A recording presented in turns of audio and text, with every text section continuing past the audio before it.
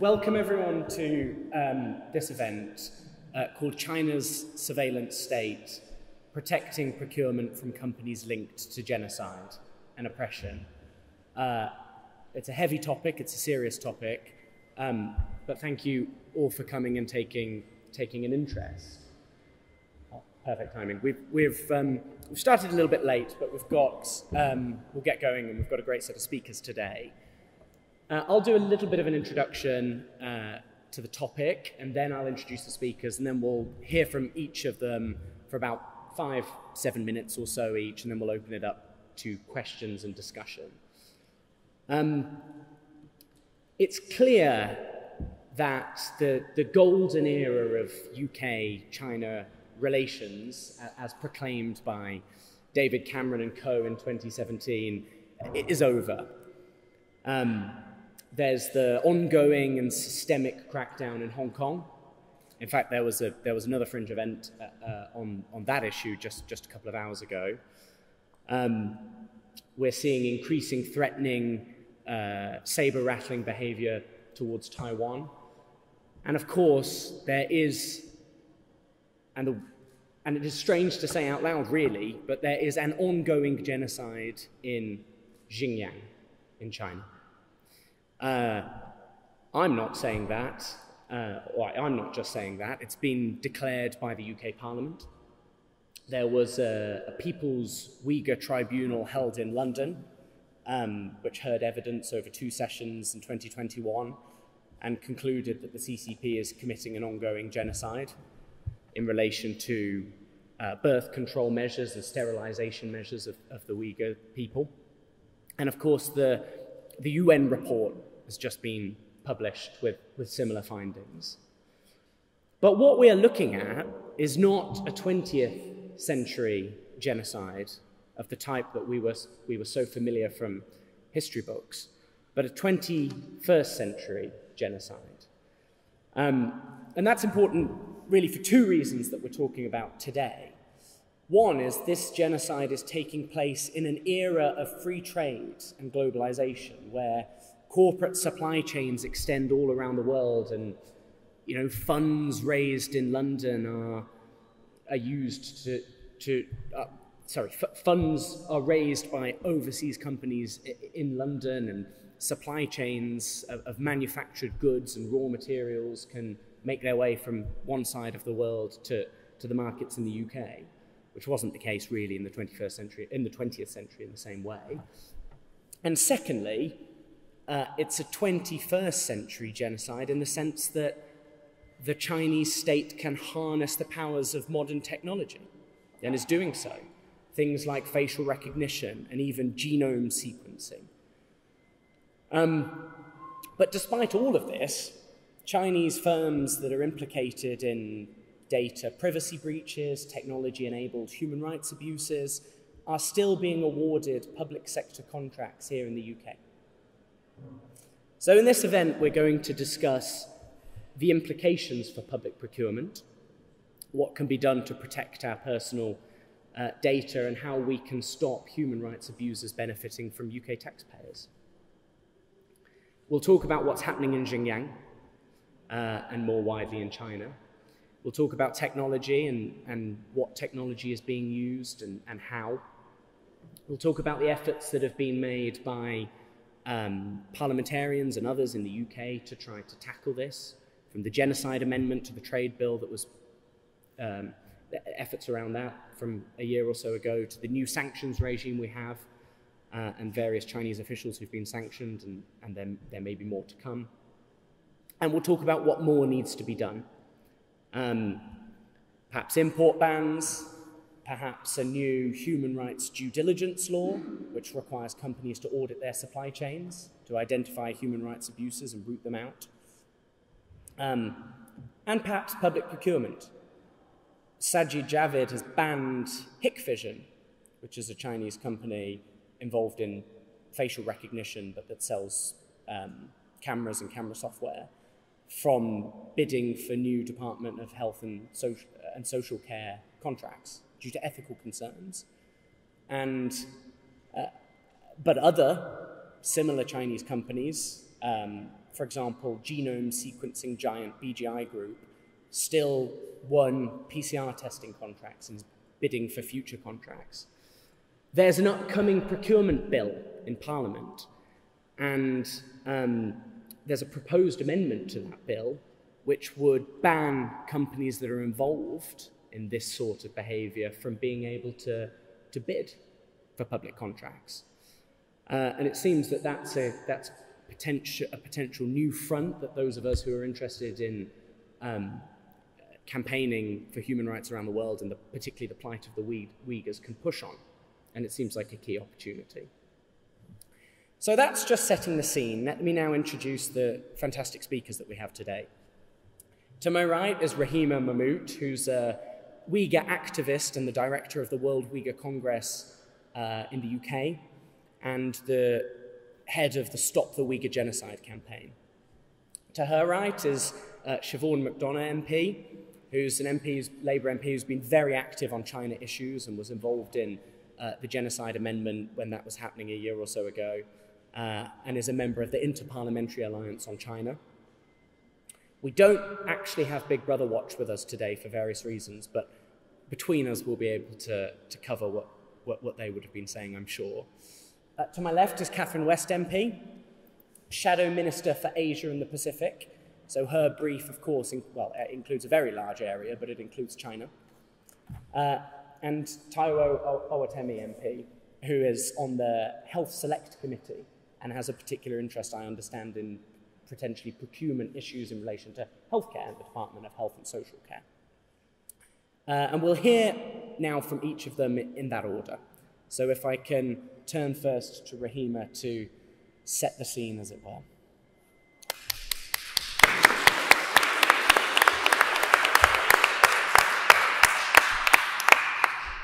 Good afternoon, everyone, and thank you for giving me this, this opportunity to speak about the plight of my people. And this afternoon, I speak to you as an activist, a translator, a singer, and an Uyghur, which means I am representing a community fighting genocide. As we sit here today, millions of my fellow Uyghurs are being held in a system of mass detention in my homeland that the UN recently said could amount to crimes against humanity. A high-tech surveillance network is terrorizing the region. Children are separated from their parents and placed in state-run orphanages. Forced sterilization and abortions have been carried out as part of a mass birth control birth prevention program that a credible independent tribunal led by Sir Geoffrey Nice determined last year amounted to genocide. Widespread forced labor program have seen our suffering turned to profit. As a translator, I have heard dozens of testimonies from those who have survived the notorious 21st century concentration camps.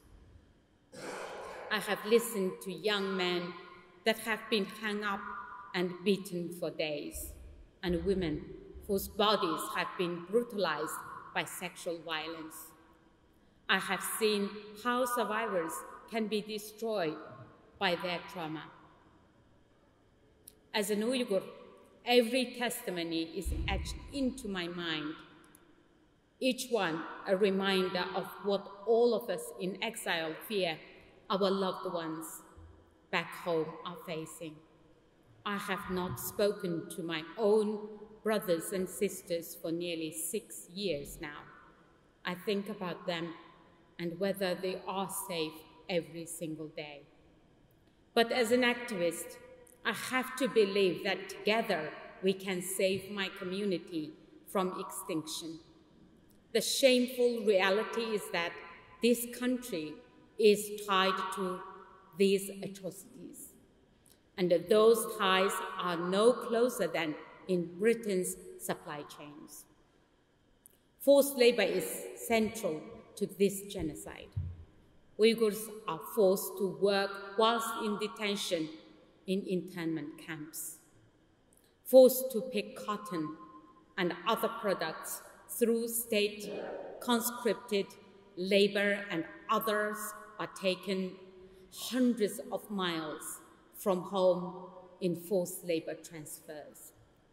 The products of this state sanctioned modern slavery enter the UK every week. Some industries like cotton, aluminium, solar, and electronics are more complicit than others. But this is a global crisis. It is important to understand that this is not just about creating a pool of cheap laborers, but is designed to tear apart the fabric of Uyghur society and break our spirit. It is a calculated tool of genocide. CCTV cameras made by companies that facilitating the Orwellian surveillance of my people litter the streets of this country. Companies like Hikvision, Dahua, who have marketed tech that can identify Uyghur features and interrogation devices that type out confessions continue to enjoy public and private contracts here in the UK. So we know the products of severe human rights violations are flooding this country's market.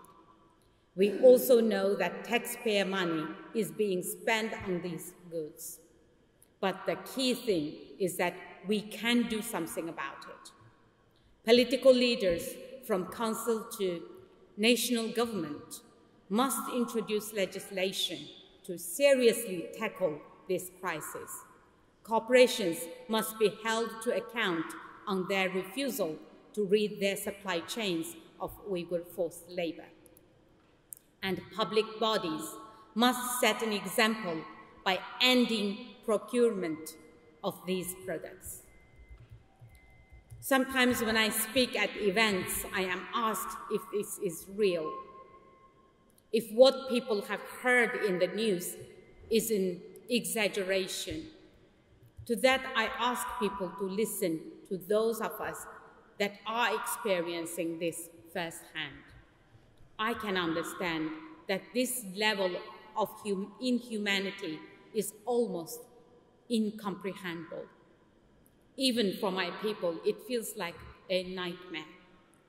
But we do not have the luxury of skepticism. We know this is real because we live it every day. But today I feel hopeful sat here because I know that the Uyghur struggle is a natural cause of the labor movement. It is about protecting workers, defending women's body autonomy, and speaking for those who have been silenced by the state. The collective voice of your movement is historic and strong. The Labour Party has been standing up for communities like mine throughout its existence. Commitment to human rights is fundamental to its identity. Now the Uyghurs need you to live up, live up to that history and use that power by standing with us in our struggle. Thank you.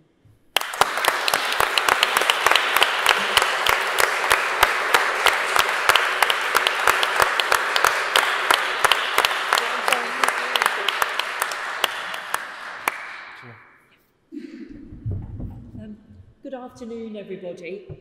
Uh, China has committed genocide against the Uyghur people in Xinjiang. That was the definitive conclusion of the Uyghur Tribunal in London that has already been referred to.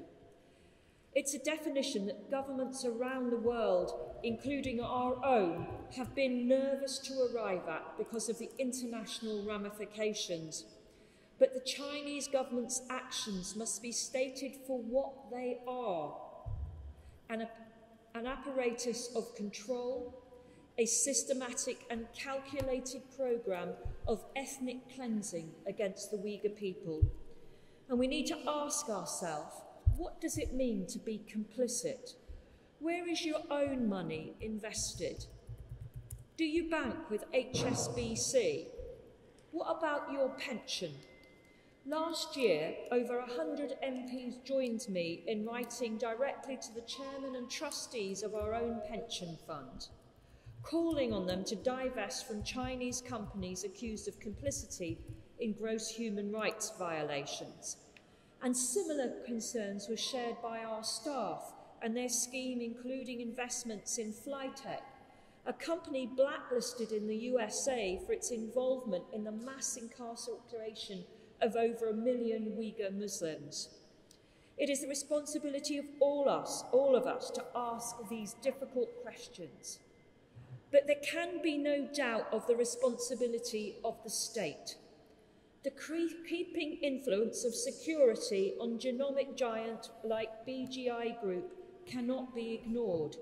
It is unforgivable to find evidence of genocide on the one hand while awarding public service contracts to firms implicated in human rights abuses and technology enabled oppression with the other. Whilst the US has their Department of Commerce entity list, the UK has no legislation to prohibit UK firms from investing in firms perpetrating human rights abuses in the Uyghur region. The consequences are all too real. Like genome sequencing giant BGI Group, who held PCR testing contracts with the Department of Health, despite a report published by the National Security Commission on Artificial Intelligence in the United States, which concluded that BGI may be serving as a global collection mechanism for Chinese government genetic databases. Or take Hikvision, one of the principal Chinese companies involved in the construction of Chinese surveillance state and the camps that house over a million Uyghurs in Xinjiang, and yet an extraordinary 31% of UK police forces use Hikvision tech. Recent concerns have been brought to my attention regarding smart meters. Who would have thought smart meters were involved? A growing proportion are made in China by a state owned company called Kaifa Technology and are being brought up by UK based energy companies for installation in our homes. I will be using all parliamentary routes to investigate that urgently. So, whether it's multinational financial institutions like HSBC, public sector contracts, or lucrative pension fund investments, it's the undeniable responsibility of both individual and state to ensure that we are not complicit in genocide. If we look away, history will condemn our unforgivable cowardice and ask why those in power did not act. Because this time, no one can say that we didn't know.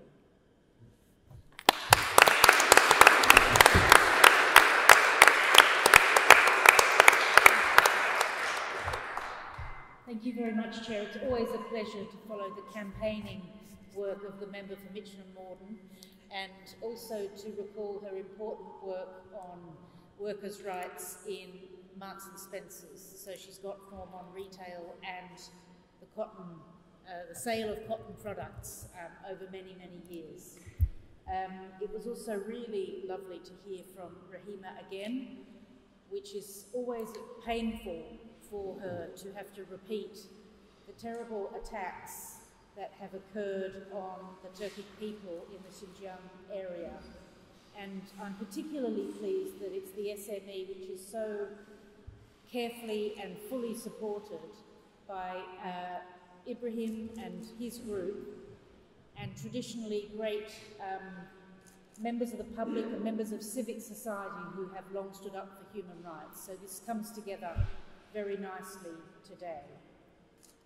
Sir Geoffrey Nice QC, or KC, did underline the unspeakable horrors of arbitrary detention, forced sterilisation, forced transportation of the workforce in the Xinjiang region. And we do have to see that within the context of the Belt and Road Initiative by the Communist Party in China.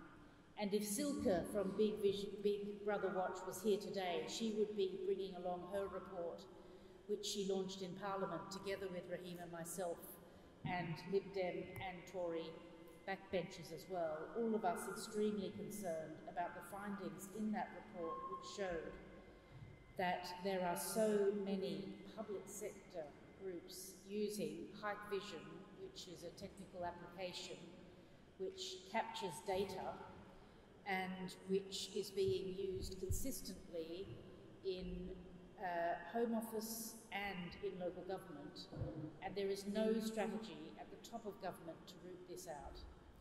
We had a recent debate in Parliament on products which have come through the Department of Health, and there was a strong statement in the Department of Health about the procurement of protective equipment following the work which Rahima has campaigned on and which the likes of Siobhain and other very outspoken backbenchers have forced the government into, which is a U-turn on supply of PPE from those departments. And I know that Taiwo will go into that in more detail. But the point that I would like to make and which I have made already today in a different forum, but on the question of China and the UK, is a sheer lack of strategy. How could it be right that the Department of Health has a very robust statement because they've been made to develop one, whereas the Home Office is allowing the police to have CCTV um, and other technical equipment um, Chair, I think will we continue, yeah, yeah. or if everyone can see us? This um, might be a um, CCP plot right. to stop our stop our discussion. yeah. Let's just quickly see if Ibrahim knows what no. to do. I think I'll continue. Yeah, I, I don't need my notes because I, I know my, my lines. Um, but the point is that what we want from the government is a coordinated strategy which gives business, which gives technology companies, and which gives public bodies a security and knowledge that what they need to do is to take action and to set out guidelines so that everyone who is in procurement knows exactly what to do. Just to give you one brief example, in the borough of Tower Hamlets, Big Brother Watch, in its audit of all local authority companies, has shown that Tower Hamlets has decided not to uh, have procurement from the Xinjiang area or from Hikvision. So it's perfectly possible to do, but why should it boil down to a little bit here and a little bit there when we have a government which is meant to have a coordinated strategy on business, on procurement, on technology? We know that technology, in terms of national security, is a major area where we need to take more action, where we need to be more aware, where we need to stop being as naive as what we have been in the past and yet the government refuses to take a leadership role in this. So for the meantime, it will depend on campaigners and on those of us who are working on government bills, such as the procurement bill which are coming forward, and we will not disappoint. I can guarantee that Siobhain will be there making a speech and holding the government to account. We will be working in the lobbies to ensure that some of the um, government uh, party who are not in the government but who are in the um, Tory party will vote with us on that particular amendment and that we may even be able to have meetings in advance so that we can get it on the face of the bill. And we have a lot of support from Ray Collins, who is our spokesperson in the House of Lords, who will be standing up and once again making the point about national security, about procurement from uh, other parts of the Asia Pacific region where we don't have the same national security concerns, and indeed where we can um, develop other supply chains. There's no reason why we have to be forced into this position. We can have clean hands on this, but it does require the government to do its homework, to develop a proper strategy, and to have human rights at its core around its trade policy. So, Chair, thank you for this opportunity. I look forward very much to the questions that are coming. I hope Silke can get a copy of this mm. virtually so that she can hear that her report is being so um, carefully um, read by colleagues here at the Labour Party conference um, and that it is informing the work that we do in Parliament so that we can be um, free of uh, modern slavery and free of the depredations that are occurring in the Xinjiang region when we have public sector organisations procuring important technology and uh, public protective equipment through the NHS. Thank you very much.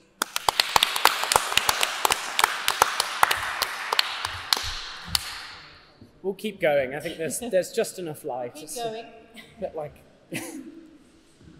bedtime story or something. So. Uh,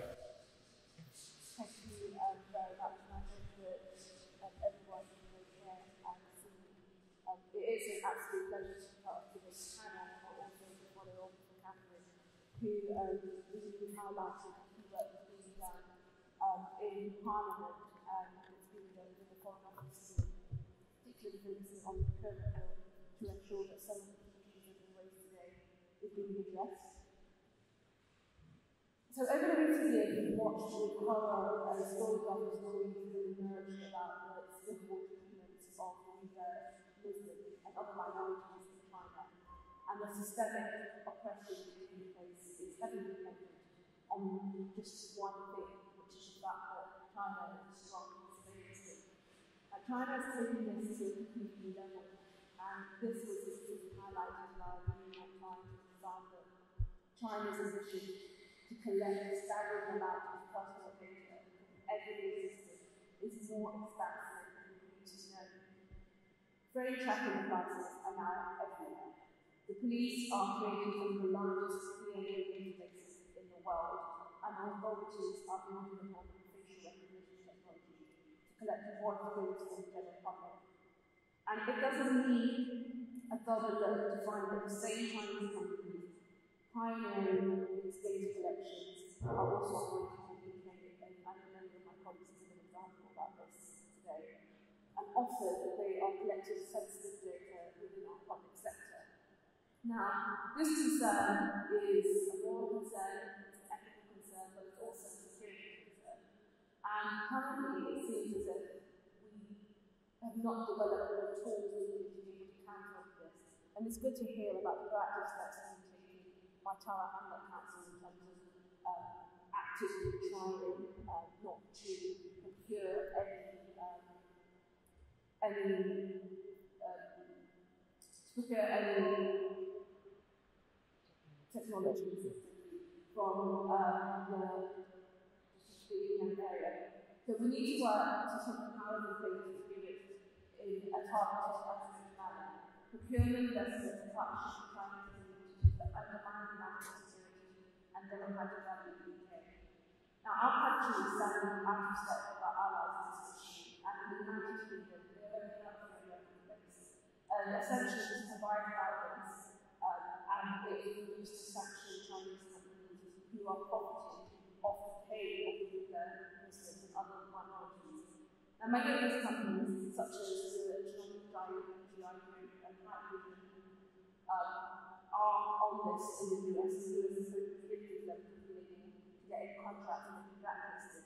But at the same time, they are enjoying unprecedented access in the UK, and this has to stop urgently. And in Parliament, there needs to be a cross-party approach working with the government to ensure that similar statutory regimes that were implemented in the US are also implemented in the UK. Believe the pyramid bill provides this opportunity. Now, we need for the relevant government departments to proactively work with institutions in our national infrastructure, including our universities, our public health systems, to give a solid and clear guidance on ethical and security risks of working is Chinese military and the state's first action. So a quick look at the current state of play